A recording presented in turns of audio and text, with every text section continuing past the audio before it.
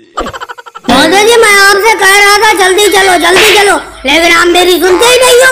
अब देखो स्कूल जाने के लिए देर हो गई। अब स्कूल टीचर की डांट लगेगी। बहुत डांटेंगे स्कूल टीचर हमेशा जी। लालू जी एक बात बताओ देर मेरी वजह से हुई है? देर इस राहुल की वजह से हुई है? राहुल इतनी देर में घर से निकल के आया? कम से कम पंद्रह बीस मिनट स्कूल बस इसके घर के बाहर खड़ी रही। ये निकल के ही नहीं आ रहा था। तो मोदी जी राहुल को छोड़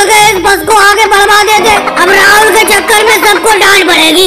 क्यों राहुल? तुमने देर क्यों कर दी? अरे लालू जी आज मेरी वजह से थोड़ी देर हो गई तो आफत मचा रहे हो। तीन दिन पहले तो आप बहुत देर लेट से आए थे। क्या बताऊँ, असल में मम्मी जी ने पराठे बनाने में बहुत देर कर दी। लंच बॉक्स में बहुत टाइम लग गया, इसीलिए देर हो गई। लेकिन अब तेज़ी तेज़ी से भागो। जल्दी से जल्दी स्कूल में पहुंचो। अब राहुल, जल्दी कर रहे हो। घर से बाहर लेट निकलते हो। अरे पराठे खाना ज़रूरी था। आज का लंच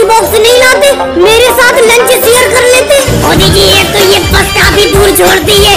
बस से स्कूल की बहुत दूरी है। जल्दी जल्दी भागो। मेरे स्कूल टीचर तो राजनाथ सिंह जी है। वो बड़ा डांट लगाएँगे। जल्दी चलो।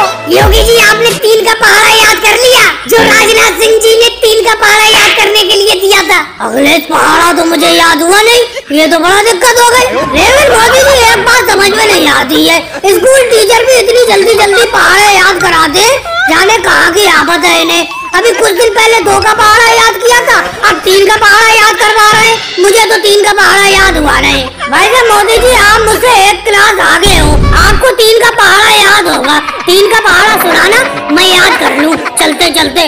योगी जी, गणित में मेरा वैसे हाथ कमज़ोर है। अगर हिंदी में कोई चीज़ पूछना चाहती हो, हिंदी में कुछ पूछ लो मुझसे।